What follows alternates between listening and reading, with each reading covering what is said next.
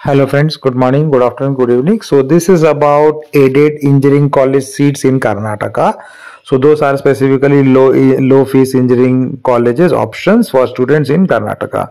So if you see the fee structure, why I'm saying it is a uh, you know fee structure is quite low for the aided courses in the aided colleges. And these are not the government colleges. These are the private engineering colleges. So within the private engineering college itself you are getting a lower fees options through KCET exam.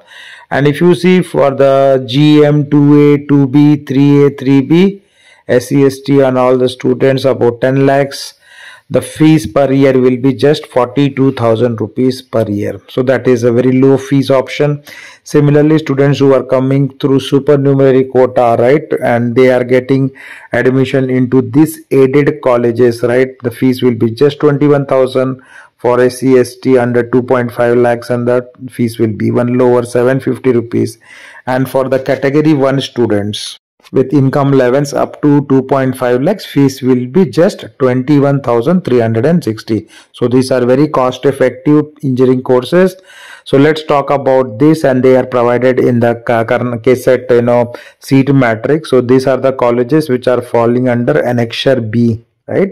So engineering seats go with uh, you know where the seats in the aided courses. So these are top notch engineering colleges. Some of them like for example bms college of engineering which is a number two college in karnataka.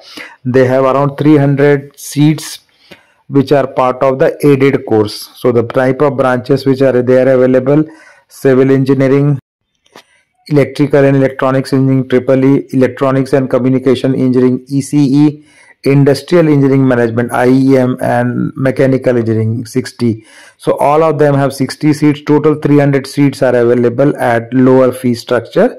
And this is the you know breakup of category wise seats in case you are interested to see the seats in your own category. The college number two is also a very old and established college in Karnataka. It's called Basaveshwara Engineering College, BEC Bagalkot and it also has a good number of seats. So here you can even study computer science engineering. You can see 60 seats for CSE civil engineering 90 seats and uh, electrical and electronics engineering 60 ECE also 60 seats and mechanical engineering 120 seats and so on. So 420 seats are available under the aided course in the private engineering college quota the third college is you can see is also popular college in Gulbarga which is called PDA College of Engineering. And here also you know mostly core related branches are available under the aided course uh, fee structure. So 320 seats are available all through the KCET admission process.